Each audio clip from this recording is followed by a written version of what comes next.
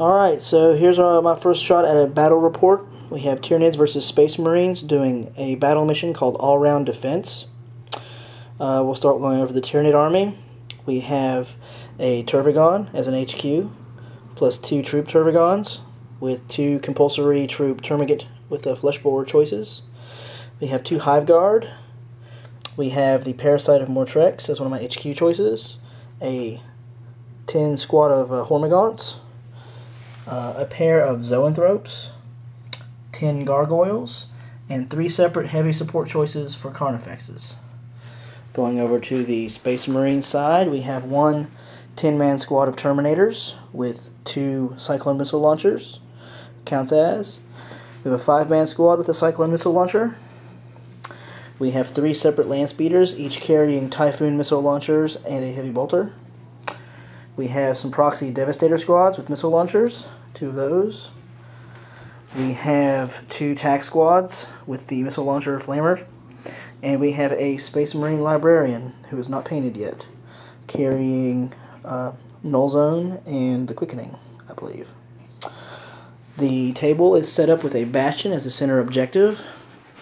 And for this mission, we have given the Bastion a force field generator, which gives it a 4 up cover save against all shooting attacks make it a little interesting, a little narrative. And so uh, we'll come back with the deployment. Alright, so here's our uh, deployment for all around defense. We have a brood of termagants in this piece of terrain here. The Tervigon, surrounded by some termagants here. Over here we got Hormagaunts on the edge. There's a Tervigon, some Hive Guards, some Zoanthropes, and Gargoyles all behind pieces of terrain. Um, Space Marines have deployed in what you'd expect. They got uh, land speeders in a circular formation around the building. Uh, you got Terminators all around three sides. You've got uh, Combat Squad Attack Marines. You've got a Devastator Squad on top. There's a Devastator Squad in the Bastion along with the Librarian.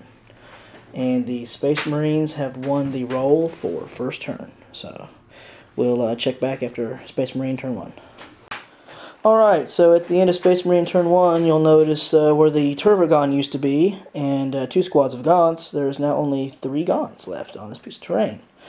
Uh, all these missile launchers in this general vicinity here uh, focus their fire, and there's no more Tervigon. And his explosion took out the Gaunts, along with a help from some of the bolters off the Bastion. Hormagaunts are pretty much untouched. There's a wound on the Tervigon here. Uh, Zoanthropes are no longer there. They got shot by missile launchers, and uh, null zone negated their invuln saves pretty much. So um, not much movement on the Space Marine side. And now it is my turn to hopefully do some damage. Alright, the end of turn turn 1, uh, Hormagaun saw, saw, some combat with attack squad and uh, killed 3, remained locked in combat there. Uh, did not get Feel No Pain off of my Tervigon thanks to the Psychic Hood nullifying the attack. In the shooting phase, I was able to immobilize and rip off some weapons of this land speeder.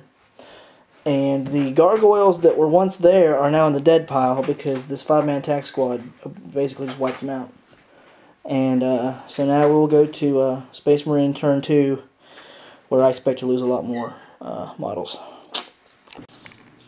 Space Marine Turn 2, the Hormagaunts have been cleared out in short order. The other Tervigon has been eliminated, he's no longer there.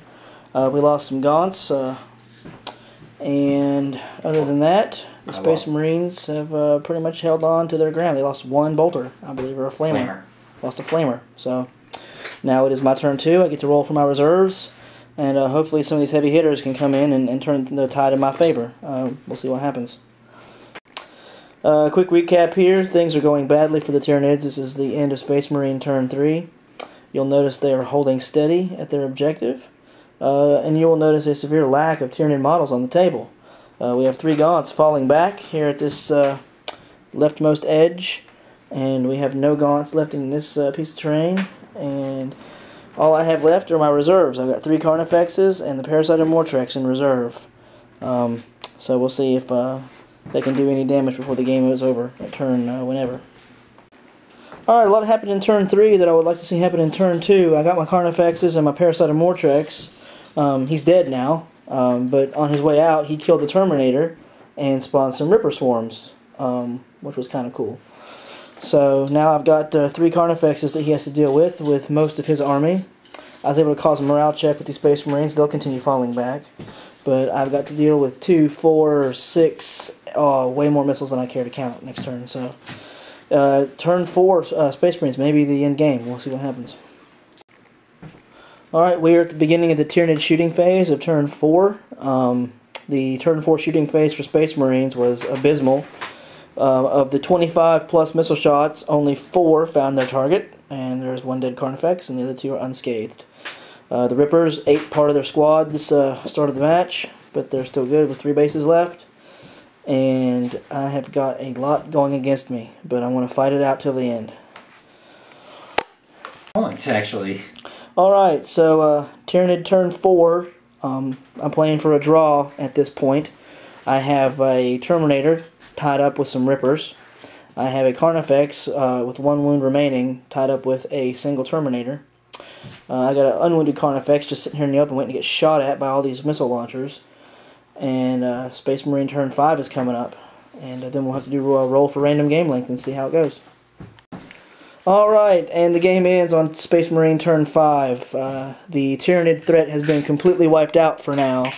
Um, they will respawn as time goes on and uh, assault again, but, but for now the Space Marines are celebrating a well-earned victory with minimal casualties. Um, so good job to Brian, and uh, hopefully there'll be more battle reports to come.